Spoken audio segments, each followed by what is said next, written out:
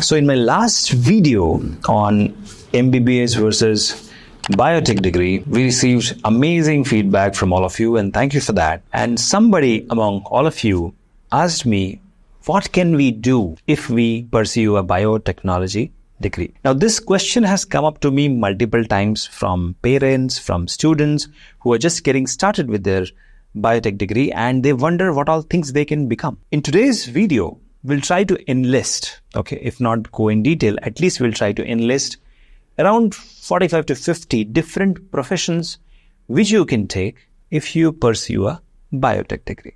Like MBBS, if you are doing uh, MBBS and then MD and uh, all the, those those degrees, you can either become a doctor with in general physician or a neurosurgeon or a dentist or there's multiple subdivisions. Same way, in biotech also there are multiple divisions. Actually, it runs into thousands of uh, different divisions. But today, for ease of understanding, we'll try to enlist around 50. Now, to start with, we'll broadly categorize into three parts. The first is academia, the second is industry, and the third is enablers. Let us start with the industry first, because obviously the industry is where the, all the money is. So, to start with, industry does First thing is R&D, which is research and development. So now under research and development, if you study genetics, then you can do genetics research or a genetic engineer. If you study molecular biology, then you can get to do molecular biology research, such as editing CRISPR, editing genes on, through using CRISPR or other such techniques. If you study biochemistry, then you can get into biochemistry research. If you uh, get into drug discovery, so development of pharmaceuticals and drugs and medicines, then if you get into uh, the biotech companies like Biocon or Syngene, you can be into product development that is called as formulation and development. Next, if you get into uh, stem cell research, then you can, of course, do multiple things. For example, recently we saw that stem cells are being used to remove the blindness in people, right? So uh, you can regenerate the retina of the eye using stem cells. So that is one kind of work which you can do. By now you would have realized that a doctor just prescribes the medicine. Doctor just does the things, but the doers behind him, the enablers of a doctor is actually a biotechnologist. So even if you could not become a doctor, doesn't matter. You can be someone who will help the doctor do that. Because if you do not create retina using stem cells, he cannot implant it, right? So that is where your role comes into picture. Now, followed with that, of course, you can get into the vaccine development. Now, you must have seen during the COVID stages what what happened. There was no vaccine, and we all were thinking like, for the next 10 years, probably we cannot have any vaccine and we have to live like this. But thanks to the biotech industry, we could engineer the virus, we could weaken the virus and have the vaccine. So vaccine development is one area. Then virus research, understanding how viruses work, how they spread, how can we prevent and what exactly needs to be done to make sure that such viruses do not mutate.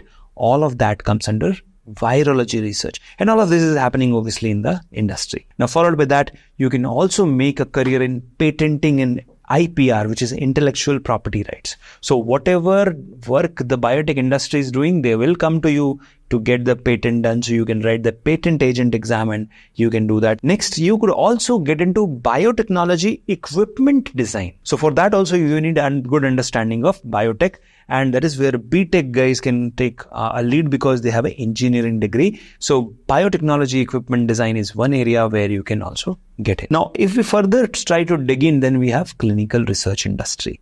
Now, what is clinical research industry? So remember, you get a medicine, you go to a shop and you buy a medicine, right? But what if I tell you that this medicine has traveled 10 years, right?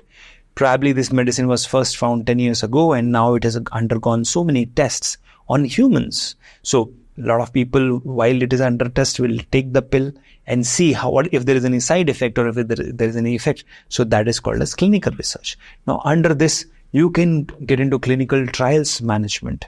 You can get into development of diagnostic tests. You can get into development of personalized medicine, medical device developments. I'm sure you must have seen the pacemakers. You can get into gene therapy. You can get into consulting in the clinical research space. Then you can get into biomedical research, immunotherapy development, then regenerative medicine using stem cells again. And of course, you can get into health informatics. Now, followed by this, do you know which is the biggest industry in our country? In fact, every country without which we cannot live?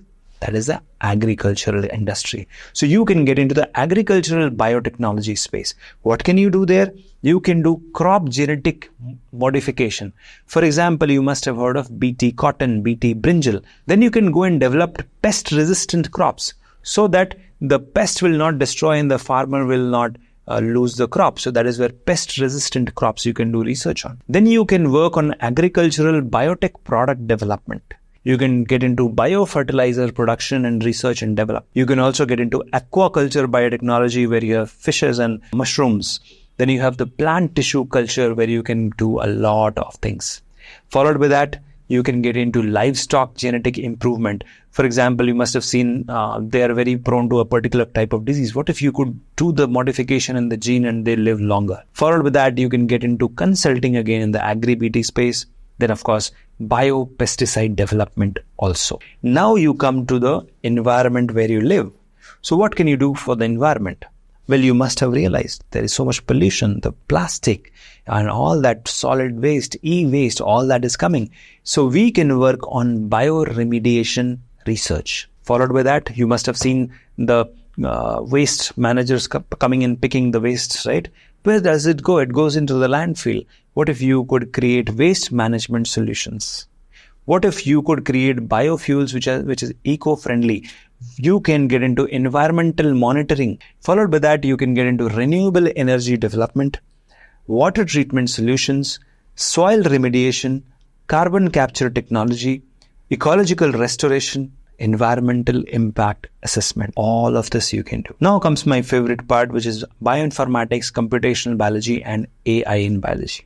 Now, so far I have told you around 40 different professions, and last 10 is going to be here. Now, genome sequencing. You can work upon using bioinformatics. You can just have a laptop and you can work. You can get into protein structure prediction and engineering. You can get into bioinformatics software development. You can work on data analysis and management. You can work on computational modeling. You can work on systems biology, metagenomics, functional genomics, bioinformatics consulting, bioinformatics freelancing, artificial intelligence and biotechnology. And this brings me to the 50 professions which I told you. Now there is bonus because till now I've just spoken about industry. What about academia? What can you do? You can become a university professor. You can become a research scientist. You can become a biotechnology lecturer. You can become an educational content creator. You can become a laboratory instructor. You can become an academic advisor to the government. You can become a science communicator, which I am, and you can become a curriculum developer. You can become a science policy advisor to the government and you can become an educational outreach coordinator. So these are the things which you can do. Now coming to the last part, which is enabler. So I told you about research and development, that is industry, told you about the academia. Now coming to the enablers. So you can start your own company you can enable. You can become an advisor to the government. You enable the government to frame biotech policies. You can get into biotechnology entrepreneurship. You can get into marketing and sales. You enable the company to sell its product. You can get into regulatory affairs. You can get into quality assurance and control. You can get into uh, regulatory compliance as an officer in the government you can work into the department of biotechnology in your country and you in the department of science and technology in your country and then you can get into various government research programs and you can head that as a leader of that program. So there are multiple such professions which is available in the biotech sector. The truth is in the absence of knowledge we make wrong decisions. In the absence of right people guiding us. We make our decision by consulting the wrong people. And actually, uh, I think I can tell you another hundred more professions right now, which you can do if you are a biotechnology graduate, postgraduate, or PhD. I'm not here to tell you that you are doing the right thing or the wrong thing. I'm just here to tell you that whatever you have started, there is a beautiful destination out there if you just pursue.